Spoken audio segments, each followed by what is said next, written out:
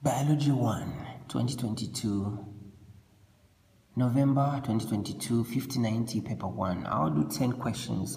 Let me try and do 10 questions each and see how far or how good it could be because sometimes the videos are so long and I feel like people sometimes feel lazy to continue watching. So let me try and do two questions. So this is High School Science 26.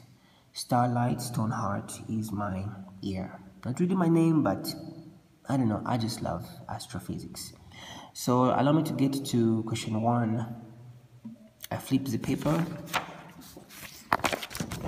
Okay, okay, okay, here we go. Uh, okay, question one. Uh, a learner was walking along a road alone with a bag, uh, school bag, when he saw an object under a tree. Uh, when the learner touched the object, it changed its color, rolled over, and divided into two uh, uh, yeah, divided into two. Which characteristic of living organisms has the object shown? I've seen this question before in some old old paper. Movement because it rolled over. Reproduction because it became two. It was one. Maybe there was some mounting taking place there.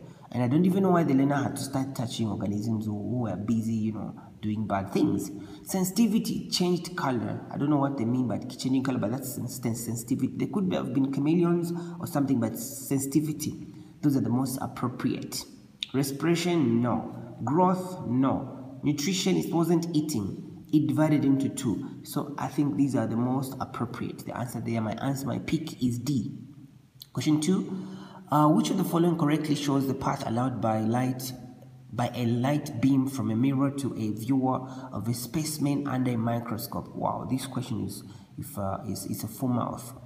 Uh, specimen from the specimen, light is reflected, then passes through the lens, through the body tube or the barrel, then the eyepiece, then into the eye. My answer is D. Um, question three. Uh, Elena investigated osmosis in potatoes. He set up the apparatus as shown. This is a potato cylinder P, potato cylinder Q, distilled water, very concentrated sugar. Here you should know what osmosis is. Osmosis is simply the movement of water from a region where it's a lot to a region where it is less through a semi-permeable membrane. So the, at the beginning, the potato cylinders were exactly balanced um, he immersed the cylinders into the liquids for four hours, four solid hours, after, after which the cylinders were lifted out of the liquids. Cylinder P was now heavier than cylinder Q. Which statement explains what happened? Water moved into cylinder P. Why? This is distilled water, pure water. These potatoes got solids and the water will move in by osmosis into the cylinder from a region where it's a lot, where it's pure, where it's, it's by itself. In other words, osmosis is the diffusion of water through a semi-permeable membrane. This one will not lose water. So my answer there is P, cylinder P. Question 4. Two samples of human enzymes were uh, used in the experiment, in an experiment. Before they were used, sample X was heated to 80 and cooled to 37, and sample Y was cooled to 0 and then heated to 37. How did this affect the enzyme activity? Sample Y was active while sample X was inactive. Y was active because when you cool them to zero degrees, enzymes don't get destroyed, they just become inactive. But when you heat, like the way sample X was heated to 80 degrees, there's denaturation there. The enzyme cannot even renature itself because renaturation is uh, a, a process through which an enzyme gains back its shape after almost losing it due to high temperature or even a low pH or even high pH. So here the answer is Y. Sample Y was inactive. The enzymes were denatured. Uh, I move the paper to question 5. The following table shows the percentage of carbohydrates. The following table shows the percentage of carbohydrates, fats, and proteins in four food samples. Which food sample contains the most energy? I went for A. Look at the carbohydrate percentage. This is energy, an energy source.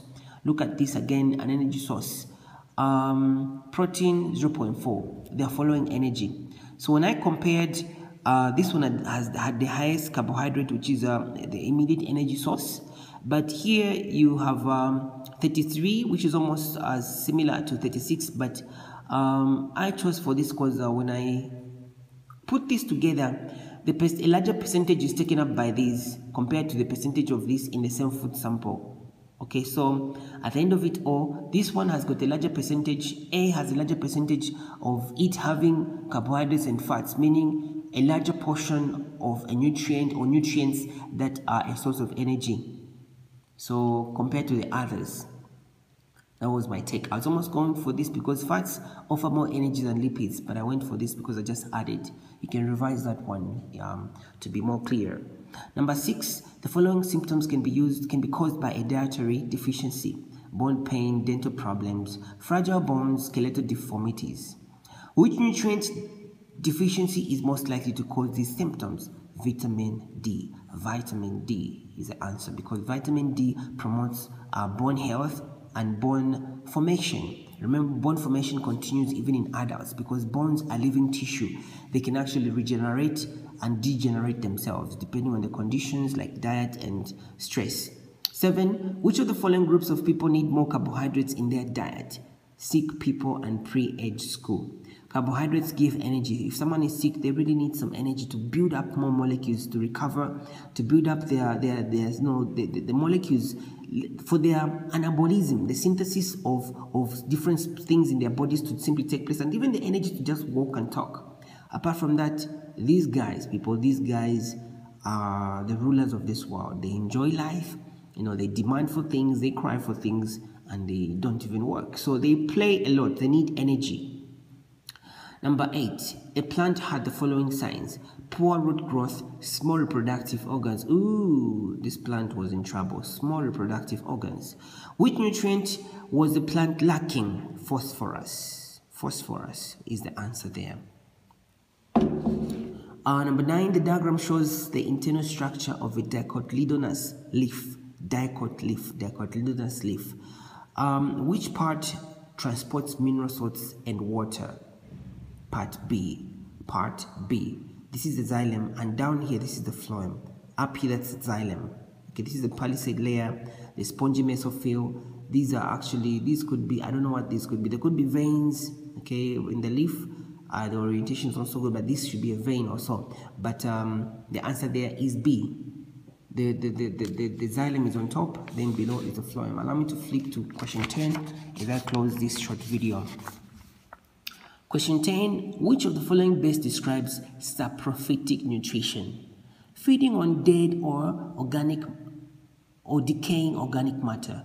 Feeding on dead or organic or decaying organic matter is the one of the uh, you know the the, the, the, the um, one of the, th the things that saprophytes do. You know, it's, it's one of the identity for saprophytic nutrition. They feed on dead or organ decaying organic matter.